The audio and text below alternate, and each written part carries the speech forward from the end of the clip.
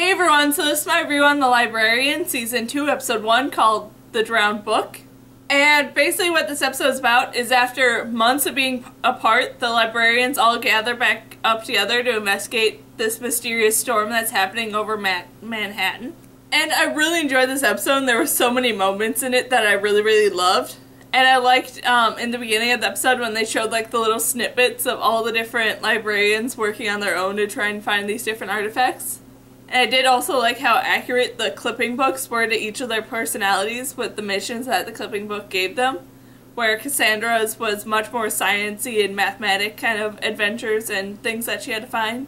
And Jake seemed to be a lot more history related, I'm guessing, and Ezekiel seemed to be a lot more of him being able to use his thievery kind of skills to his advantage to try and get the artifacts.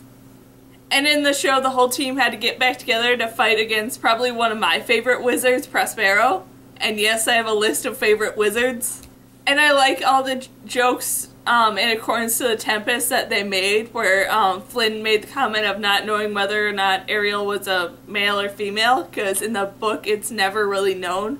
And in all the plays, it was sort of passed back and forth on whether the character was male or female. And I remember Prospero renouncing his magic at the end of the Tempest, but I don't remember him drowning his book and breaking his staff.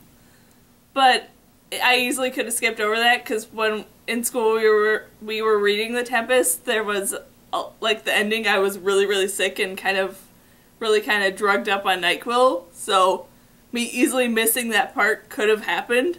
I just remember him renouncing his powers, and then they were all on like a boat together, leaving the island. So I don't remember him breaking the staff and drowning his book, but like I said, that could have happened and I just missed it. But overall, I really enjoyed this episode and I can't wait to see the next one.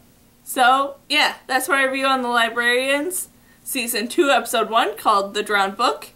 So, yeah!